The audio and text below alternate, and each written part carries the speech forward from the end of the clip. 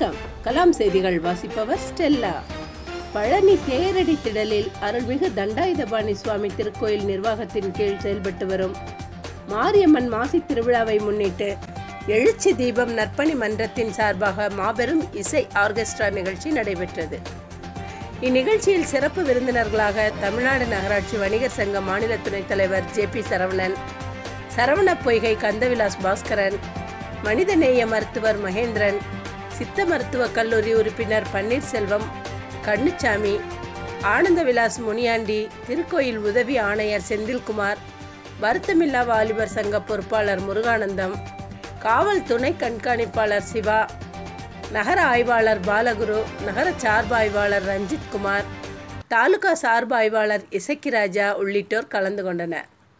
மேலும் இந்நிகழ்வில் சாம்பியன்ஷிப் பட்டம் பெற்று தமிழகத்துக்கு பெருமை சேர்த்த சார்பாய்வாளர் இசக்கிராஜாவிற்கு எழுச்சி தீபம் நற்பணி மன்றம் சார்பாக நினைவு பரிசினை வழங்கினார். இசை நிகழ்ச்சியில் மக்களின் மனம் கவரும் பல்வேறு பாடல்களை பாடி மக்களை சந்தோஷத்தில் ஆழ்த்தினர். பயிற்சி இசை மாணவர்கள் தங்களின் தனித்திறமைகளை மக்களிடையே காண்பதற்கு இந்த மேடையை ஒரு வாய்ப்பாக பயன்படுத்தி கொண்டனர். எழுச்சி தீபம் இளைஞர் நற்பணி மன்றத்தின் சார்பாக மிகச் சிறப்பாக விழா ஏற்பாடுகளை செய்திருந்தனர்.